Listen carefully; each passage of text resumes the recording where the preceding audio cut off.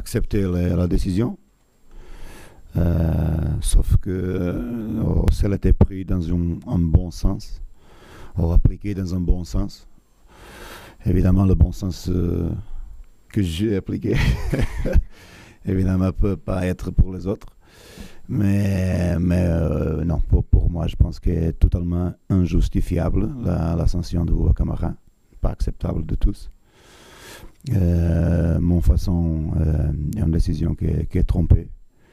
Je veux clarifier aussi une chose. Je, euh, je, ne veux pas être dans une position de mettre en cause, une, l'arbitre, et deux, les décisions de la commission de discipline. je pense que j'avais assez d'expérience, j'ai déjà passé cette phase dans ma carrière, mais euh, je ne pense pas qu'il est, justifiable ce type de sanction.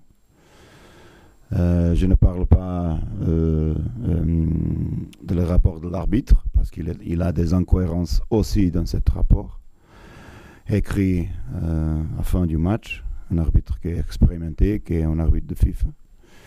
Euh, alors, euh, non, je pense que euh, la décision est une mauvaise décision.